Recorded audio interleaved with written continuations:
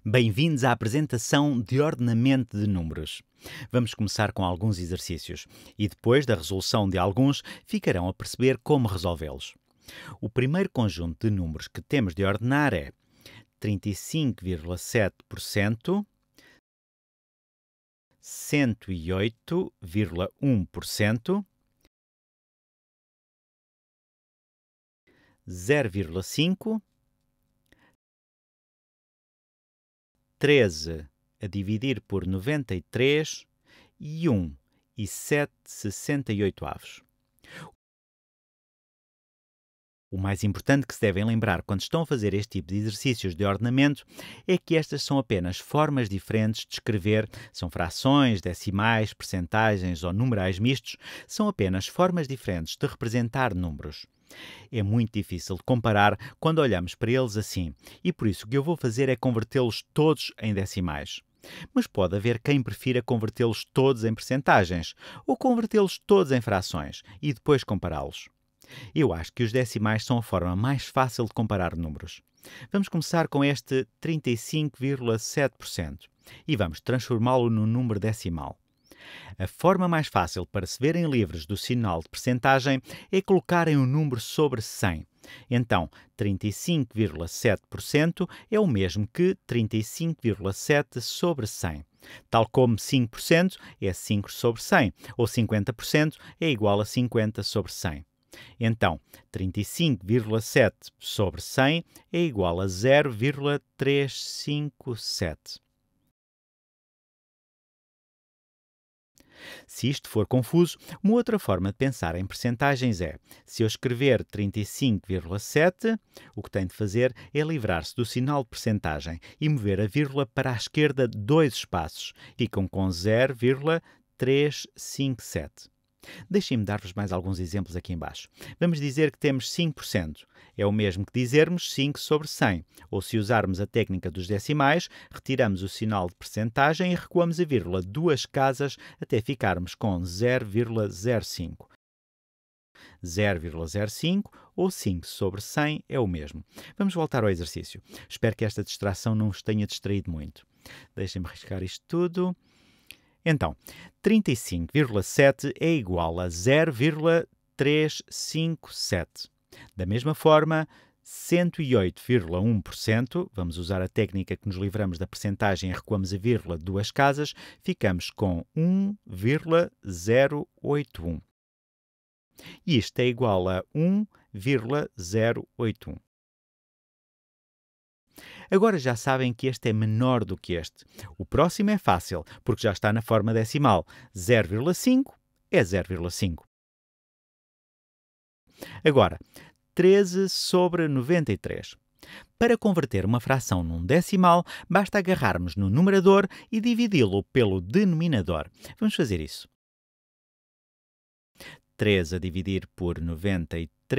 Sabemos que 93 não cabe em 13, porque é maior do que 13, e por isso vamos colocar um zero e uma vírgula. E acrescentamos uma vírgula e um zero a 13.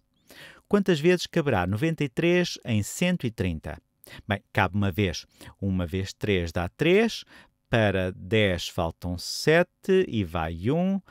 Uma vez 9 é 9, com o que vem de trás dá 10, para 13 faltam 3, baixamos outro 0. Então, quantas vezes cabe 93 em 370? Vejamos. 4 vezes 93 dá 372. Por isso, 93 cabe 3 vezes em 370. 3 vezes 3 dá 9, para 10 falta 1 e vai 1. 3 vezes 9 dá 27, mais 1 dá 28, para 37 faltam 9. 91. Baixamos outro zero e vemos quantas vezes 93 cabe em 910. Vemos que cabe 9. Porque apesar de podermos continuar, para comparar com os restantes números, o decimal a que já chegamos é suficiente. É 0,139 e por aí fora. Vamos escrever isso. E finalmente temos este número misto. Há duas formas. A forma mais fácil de converter um número misto num decimal é dizer isto é 1 com uma fração inferior a 1. Ou podemos convertê-lo numa fração, uma fração imprópria. Na verdade, não há aqui nenhuma fração imprópria. Mas vamos fazer assim. Vamos convertê-la numa fração imprópria e depois convertemos-la num número decimal. Vou precisar de mais espaço. Deixem-me limpar isto aqui um pouco. Portanto, já temos espaço. Então, 1 e 768. Então, para passarmos de um número misto para uma fração imprópria, é agarrarmos neste 68, multiplicamos por 1 e juntamos-lo ao numerador. E porquê é que isto faz sentido? Porque isto é o mesmo que 1 mais 7 sobre 68. 1 e 7 sobre 68 é o mesmo que 1 mais 7 sobre 68. E isto é o mesmo que, como sabem do módulo das frações, é o mesmo que 68 sobre 68 mais 7 sobre 68. E isto é o mesmo que 68 mais 7, que dá 75, sobre 68.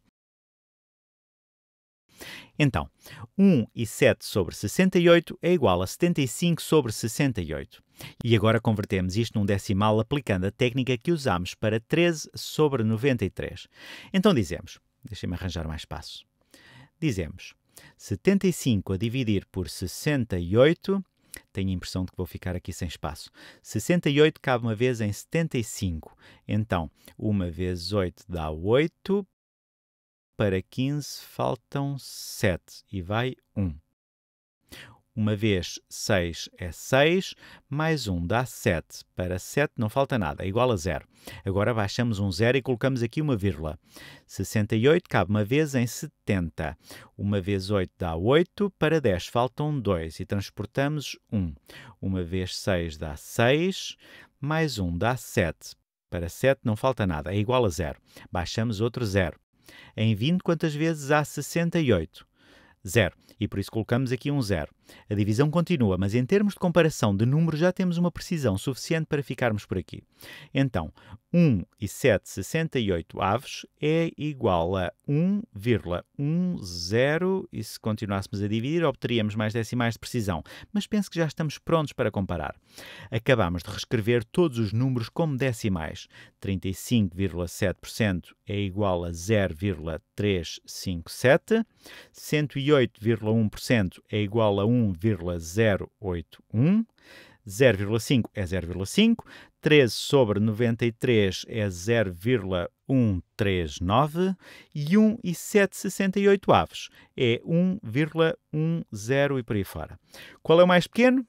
O mais pequeno é 0, na verdade, o mais pequeno está aqui, é vou classificá-los do mais pequeno para o maior. Então, o mais pequeno é 0,1 0,39. O segundo menor vai ser 0,357. O seguinte vai ser 0,5. Depois 1,08 e depois 1,768 avos. Vou fazer mais exemplos disto, mas neste vídeo só tenho tempo para fazer este exercício. De qualquer forma, isto dá-vos uma ideia de como resolver estes exercícios. Eu acho mais fácil converter tudo para a forma decimal para depois comparar.